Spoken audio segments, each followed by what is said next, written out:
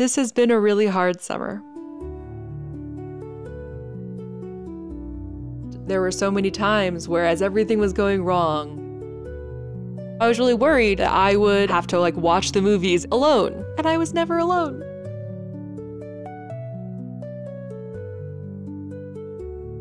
I love The Lord of the Rings. I remember watching it when I was 12 years old with my dad on his computer because he said it was too scary to watch on the TV where my younger sister might see it. I remember my dad bribing me to read The Protector of the Small books in order to see Return of the King in theaters. I remember watching it with best friends, watching it with my sister when we were both in high school, and watching it uh, during COVID to get through lockdown. I even wore Arwen's Evenstar necklace to my prom and my wedding. On the topic of weddings, I did quote Samwise Gamgee in my wedding vows. And what's amazing is I don't think I'm alone in feeling this way about these amazing movies. So it's been a while since my aforementioned 2020 COVID rewatch, and I think it's high time to marathon the entire extended edition again, but this time I want to make it a bit more special and celebrate my love for these movies with some amazing food. What about elevenses?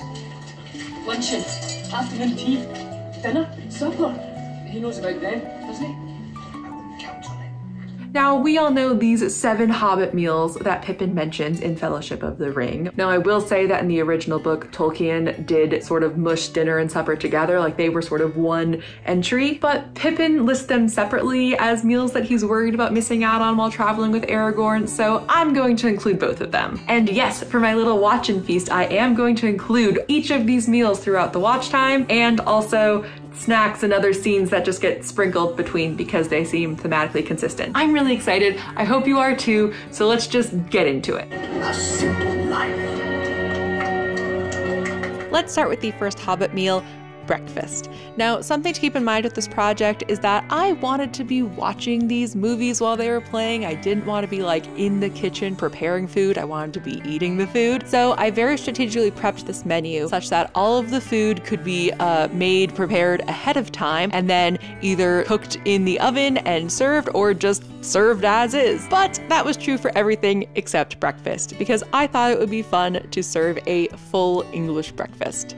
What are you doing? Tomatoes, sausages, nice crispy bacon. We saved some for you, Mr. Frodo. Good morning. I went to bed after midnight and then in classic me form, I uh I woke myself up at like five something, just feeling really excited about the party coming up. You know, operating on subpar sleep, but okay, it's gonna be great. I will get all the various things that I need for breakfast to be ready. And uh, yeah, got like half an hour before people arrive, so that should be plenty of time. It was not enough time, but that's okay because everything still turned out delicious.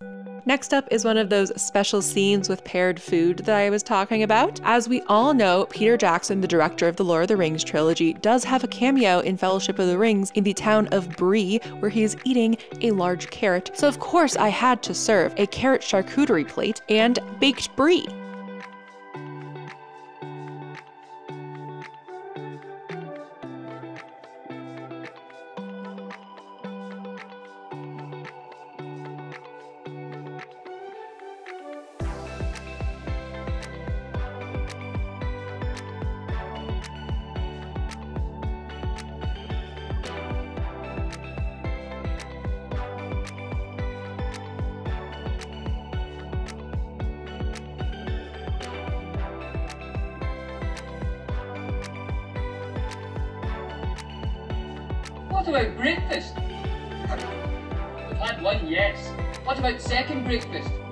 Next up, we're going to be making honeycomb, which um, doesn't actually have any honey in it. So that's annoying, but I'm sure it will still taste good with the apples and honey I'll be pairing it with for second breakfast. Because you know, Aragorn throws that apple and Pippin catches it, or Merry catches it for second breakfast, the second breakfast scene.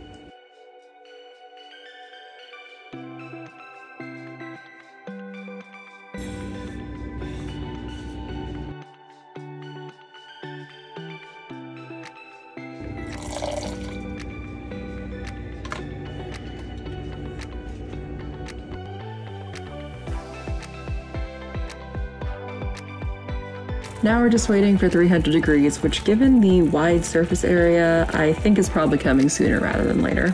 I guess let's just see where we're starting, yeah? 222. So we still got a ways to go. Okay, 300 degrees. Remove from heat. It's supposed to foam up. Why didn't it foam up? Oh, there we go. Now it's foaming up. Woo!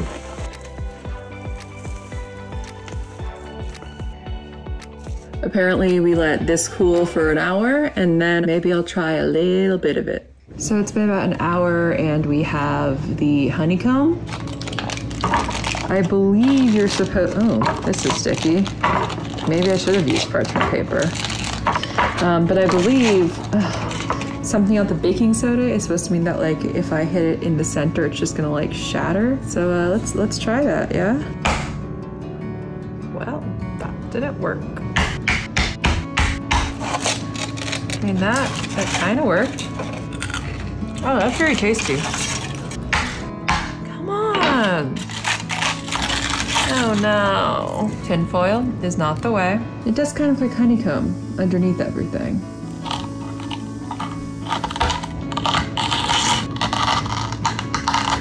This definitely isn't something you get to control. I am going to clean up all the mess that I just made, de-tinfoiling the honeycomb, and uh, I'm gonna eat the chunks of honeycomb that I couldn't get the tinfoil off of.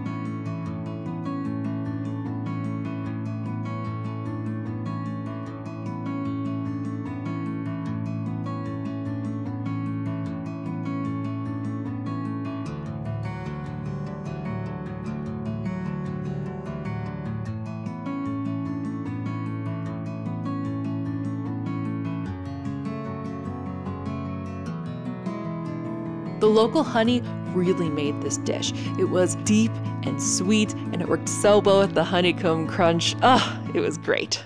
Next up was elevenses, and this is where the chaos really started. So elevenses, elevenses, as the name suggests, are served at 11. By my calculations, which was hard to make because there are no timestamps for either the extended editions or the theatrical releases of these movies available online. There's just scene duration, so I had to add all the scenes together to figure out when, based on start time of the movie, different scenes would be. But by my calculations, elevenses will be when the group is in Lothlorien, which is where they get the lembas bread. So anyway, for elevenses, I'm going to do a more fun version of lembas bread, browned butter Rice Krispie treats. And I'm gonna be doing that twice, one with vegan and one with normal butter. So let's do that. Here we are at the stove for making a sort of fancy browned butter Rice Krispie treat. We're following an Alton Brown recipe. So first up, we're going to toast the Rice Krispies. And uh, I have them in a bowl because I bought the family pack, which was too much for this recipe, but it was more price efficient. 18 ounces is a lot of Rice Krispies, okay? I don't seem to have a big enough pan for this. How did I do this last time? Well, I guess we're only browning. Well, we can do this in batches. Oh, we have just started and it's already chaos. Don't forget to like and subscribe for more just like this. I understand why Alton Brown wanted me to use a wok for this. I don't think we have a wok. Okay, I can just smell it getting toasty now.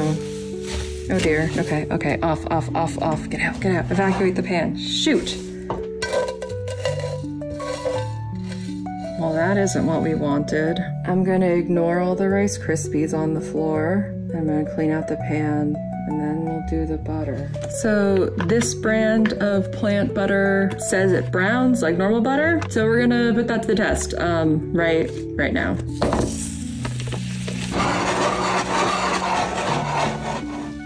You know what? After toasting the Rice Krispies, I'm just feeling a little um, risk adverse right now. So we're just we're just gonna.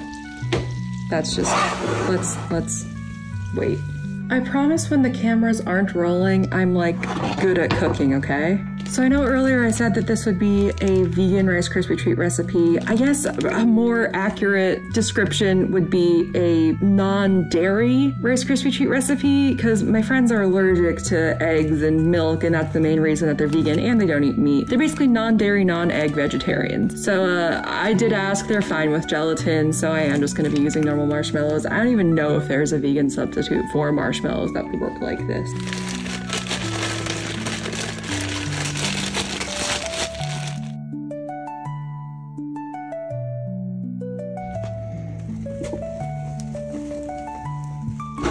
And I forgot salt because of course I did. Wait, was this salted butter or unsalt? Oh, who cares?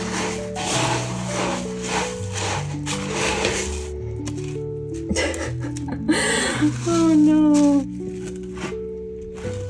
That's what it is. Now time for the other half. I hope this goes just as well.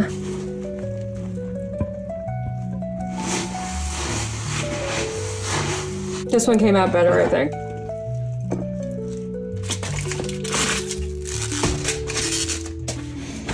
Oh my god. I don't know if anything has ever gone quite as bad as that just did. I didn't realize that when I stopped working out like two months ago, I wouldn't even be able to like stir a very thick mixture or lift a heavy pan. At least it tastes good. It's actually pretty reminiscent of um, my popcorn flavored marshmallows. My best guess is that the vegan butter uses something similar to the butter flavoring that I used for those marshmallows, which, you know, isn't bad. It's pretty good. And I will say it tastes pretty indistinguishable from normal Rice Krispies. So I'm wondering if I should even embarrass myself further by making a non-vegan version. Either way, I have to like clean now. And we're back. This time we're doing the browned butter, not browned butter substitute Rice Krispie treats, and I am going to do them in two halves. I'm also not gonna try toasting the Rice Krispies this time.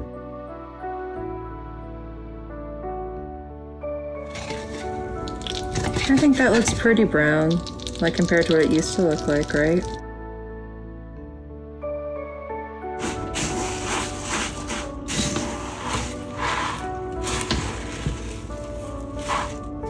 I know this was supposed to be only a half batch, but um, I don't think any is gonna fit in here, so we're just, we're, we're, calling that. I'm just gonna have twice as much vegan Rice Krispie treats. Good morning, first of all. I know my hair looks a little goofy. I can't fix it. Second of all, we have the dishwasher dishwashing because this cooking marathon is not for the faint of heart. There is so much going on here, I'm just constantly cycling through dishes. Third of all, we have a cooking marathon today, so let's start with making Cafe de Olla. This is a Mexican coffee drink that I have had when I visit my sister in Arizona, and it is so good that I am making it for elevensies, which uh, means it'll be paired with the Rice Krispie treats. I think that's a pretty fun pairing. Let's make it.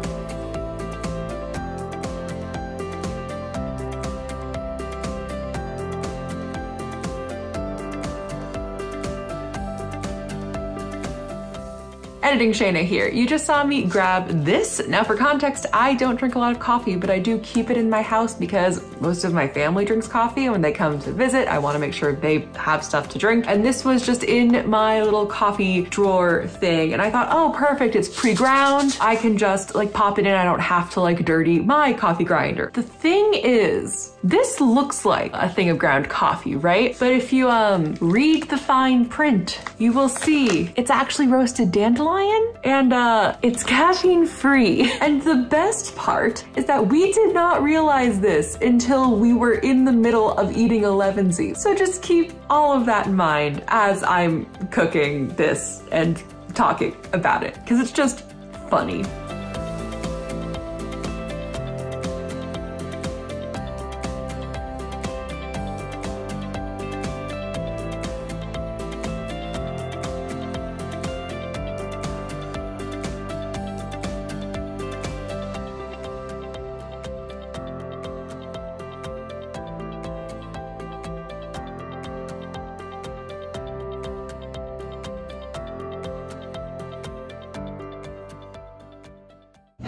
Possible that I can screw up making coffee? Like slightly fancy coffee, but still, it just, I'm a capable adult. I promise I can do this. I, I don't know why everything's going wrong. Anyway, here's the uh, little bit that came through the filter. I'm gonna, I'm gonna try it. Oh, that's really good. I'm not a big coffee drinker because uh, the caffeine from coffee gives me anxiety. Oh my god, it's really good. I'm sure it would be even better if I was able to get like the Mexican cinnamon and the specialty sugar that the recipe calls for, but this is like the most Americanized version of Cafe de Olla, and I'm okay with that. So my calculations were off, and we did end up enjoying Elevensies in the Mines of Moria and not Lothlorien. But I maintain that if we had started on time, we would have been eating in Lothlorien and everything would have been great. Everything was great. Anyway, actually, the food was very tasty. Elvis. Elvish. One small bite is enough to fill the stomach of a grown man.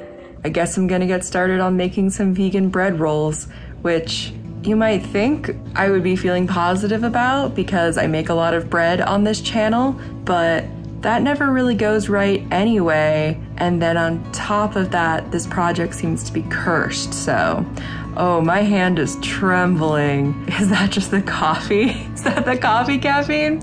Okay, well, let's put you in a tripod. Yeah, let's let's let's make some bread.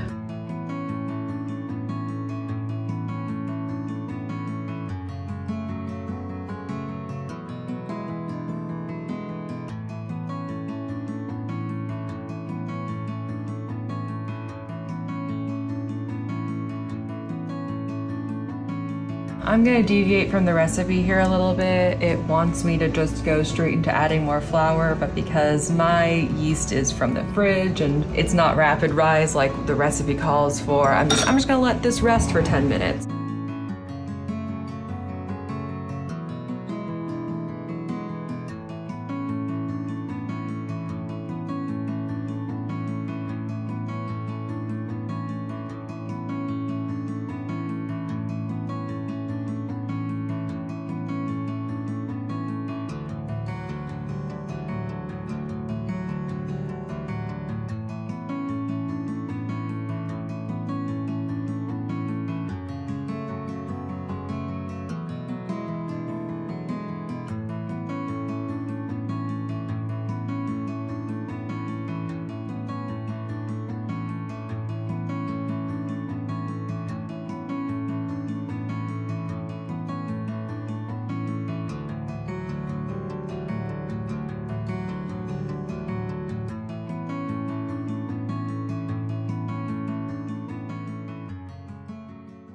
Okay, it's been a while since we've talked. Uh, let me fill you in on what's happened. I prepped all the stuff that is going to go into the slow cooker potato stew that I'm going to start cooking tomorrow morning before everyone arrives.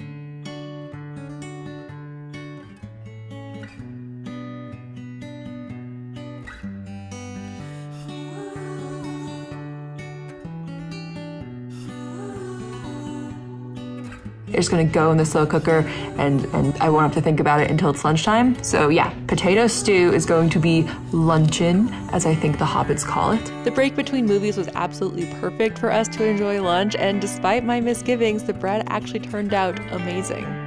So, for our next special scene, I was supposed to do a lot of prep that I would have filmed. I was going to make a nice, like, salami charcuterie plate, but I ran out of time, so I'm just going to recreate for you what my guests experienced. Looks like meat back on my menu, boys.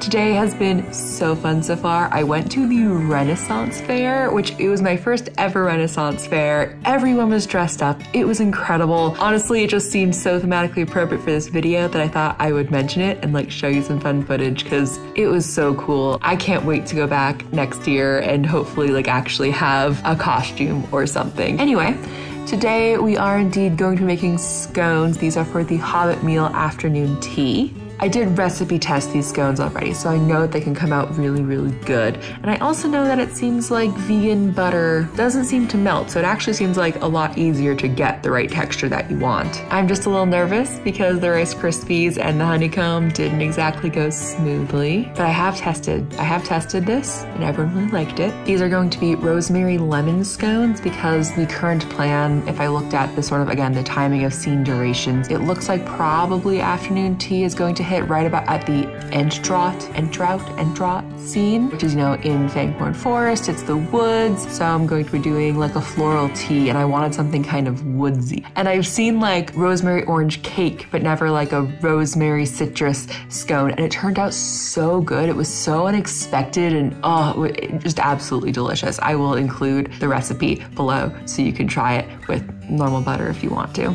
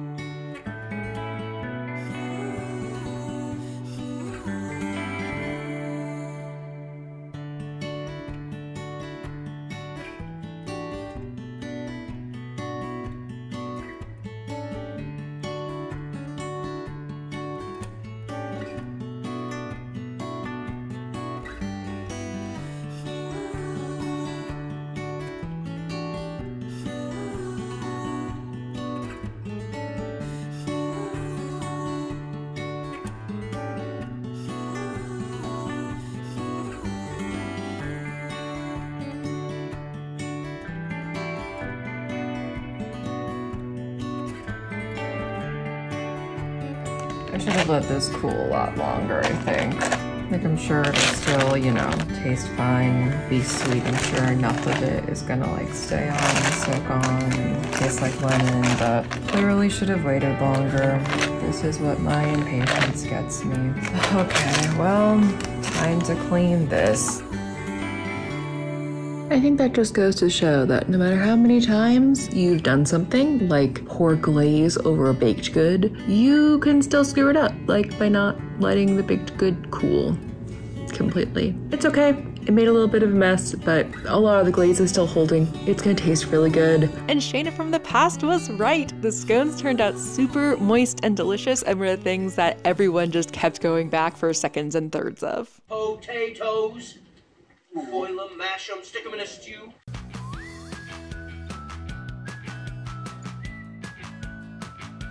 We need one pound of sweet potatoes for the sweet potato pie, which of course is going to be for the scene boil them, mash them, stick them in a stew.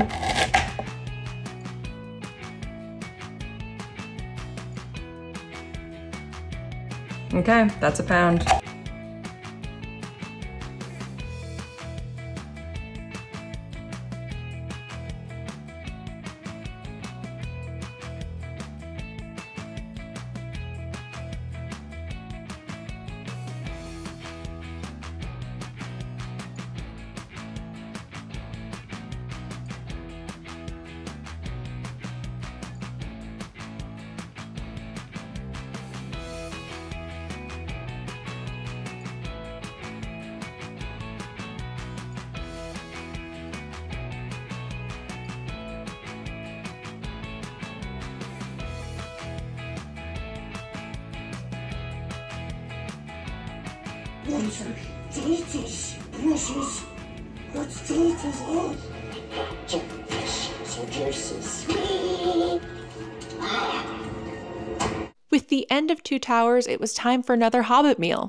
Dinner. Coming up, what I'm going to be working on is the turkey mini meatloaves and the mini chickpea vegan meatless loaves. I needed a lot of veg for that. I'm going to be sauteing a lot of the vegetables on the stove and then everything is going to go into the fridge in little muffin tins and that's how I'm going to make like mini individual serving size meatloaves. I recipe tested this. It was so good. Genuinely amazing. I should also make sure that I prep the sauce that's going to go on both the meatloaves. But yeah, I think I think we're doing pretty well.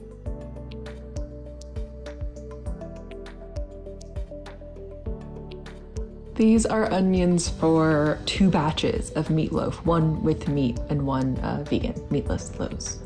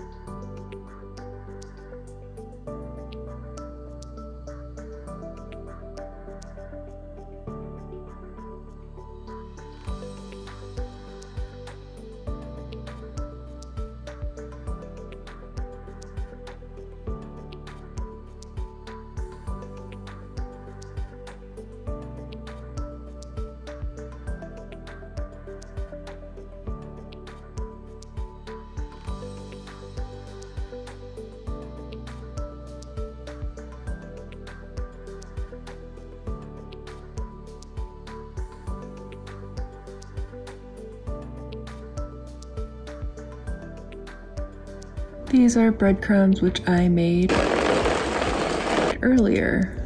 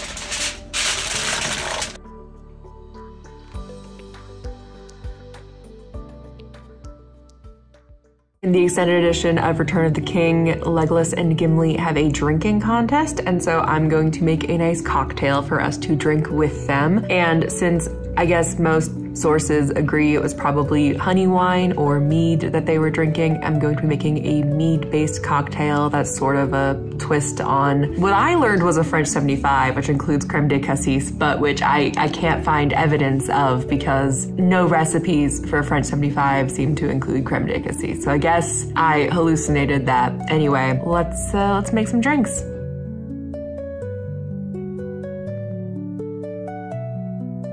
This is gonna be not entirely full on purpose. you said don't worry about spillage. Yeah, I meant it.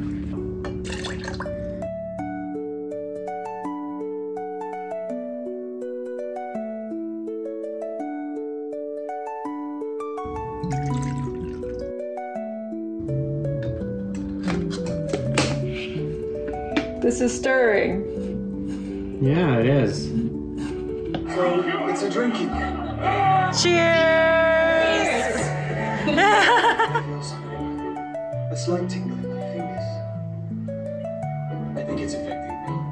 Okay, final haul. We're making supper. For supper, we're making hand pies because hand pies could have meat filling, but instead, uh, it's going to be Nutella in half and um, blue blackberry blackberry jam in half. And I'm basically making nothing from scratch. Not even basically. For this, I'm making nothing from scratch. I have store bought puff pastry and store bought Nutella and store bought jam. I was going to make Nutella from scratch, but I couldn't find hazelnuts anywhere. And I checked like four different stores, so store bought.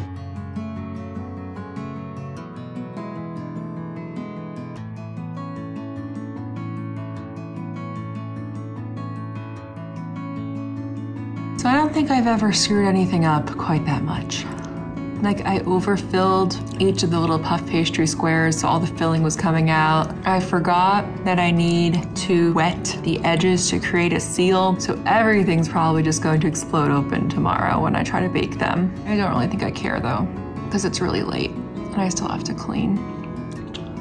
So the hand pies did burst in the oven, but honestly, the Nutella was delicious, the jam was delicious, the pastry was good. It was all still there. It was great, and who cares that it was a little bit messy? And then finally, for the last emotional scene, the last uh, delicious bite, when Sam says, Do you remember the taste of strawberries and cream? And so I have a pint of strawberries and I'm gonna whip some whipping cream with vanilla and sugar. So let's do that, okay?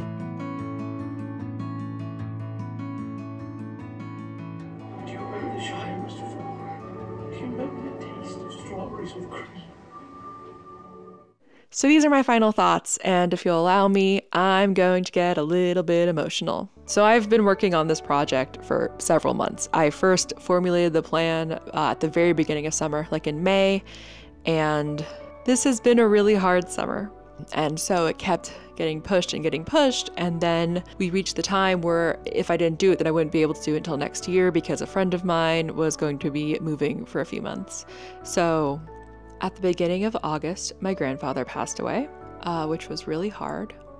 And and I uh, I had to go out of town for his funeral. And when I got back, there was basically only one day that was going to work for this party because of the complications, because because of all all the things that had happened. Um, it was pretty last minute that I was inviting anyone, and I was putting in a lot of effort. Like obviously, I put in a ton of effort into this project, and there were so many times where, as everything was going wrong, as the Rice Krispie treat was burning and the tinfoil was sticking and the bread wasn't rising, I really wondered if any of it was going to be worth it because I was worried that, like, I don't know, come lunchtime, no one was going to be here. Or, you know, at the drinking competition, that, you know, everyone would have gone home by that point. And so I was really worried that I would have to, like, watch the movies and, like, reveal the food alone for some of it.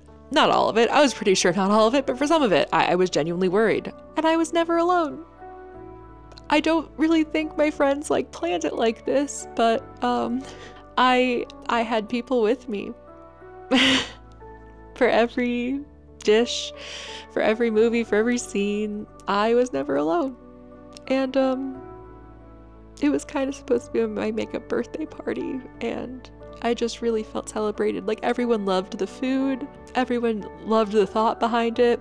I had a couple Lord of the Rings like experts in and out of the party. So I found out some stuff about the Lord of the Rings that I actually hadn't known before, so that was really cool. I just I felt really loved and cherished from doing this. And my cooking was so appreciated and the thought and the fact that everything was vegan for those, you know, who couldn't again have dairy or egg. And this might be the coolest thing that I've ever done. And I'm really happy that I did it. That being said, um, I don't know if I would do it again, or at least not in this much detail, but I think I would do a food based party again. I just wouldn't do the scene reveals. I would just have like a buffet ahead of time. I think that's probably the right way to do it. I really appreciate all my friends for coming. I appreciate you for watching. And I should do a proper outro. Okay. If you liked this video and want to see more cooking videos, I recently revived my sourdough starter. It had gone dormant and I brought it back from the dead. So you can watch that here.